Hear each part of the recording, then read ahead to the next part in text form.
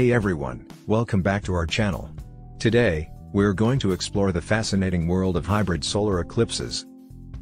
These rare celestial events are a mix of total and annular eclipses, and in this video, we'll dive into the science and mechanics behind them. So, let's get started.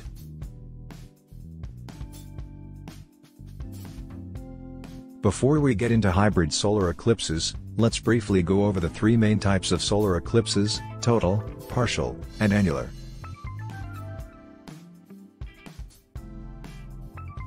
In a total solar eclipse, the moon completely covers the sun, leaving only the sun's outer atmosphere, or corona, visible. In a partial solar eclipse, the moon only partially covers the sun, and in an annular solar eclipse, the moon is too far from the earth to fully cover the sun, resulting in a ring of fire effect.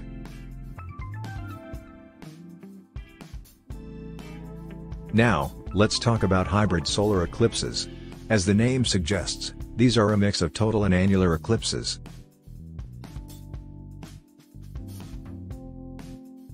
A hybrid solar eclipse occurs when the moon's distance from the Earth changes during the eclipse, causing it to appear as a total eclipse in some locations and an annular eclipse in others.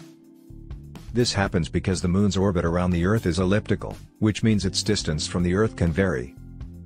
Hybrid solar eclipses are quite rare, they only make up about 5% of all solar eclipses, the last one occurred on April 20, 2023, and the one before that on November 3, 2013.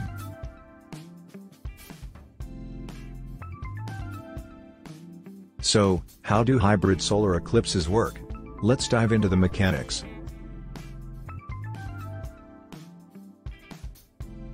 A hybrid solar eclipse can only occur during a new moon phase when the moon is directly between the Earth and the Sun. The moon's shadow is composed of two parts, the umbra, which is the darkest and innermost part, and the penumbra, which is the outer and lighter part. During a hybrid solar eclipse, the moon's umbra falls on some parts of the Earth's surface, resulting in a total eclipse.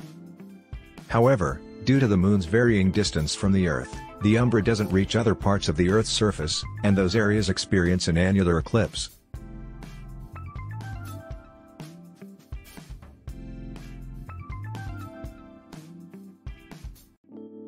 If you're lucky enough to be in the path of a hybrid solar eclipse, you'll need to take the same safety precautions as you would for a total or annular eclipse. This means wearing special solar glasses or using a solar filter to protect your eyes from the sun's harmful rays.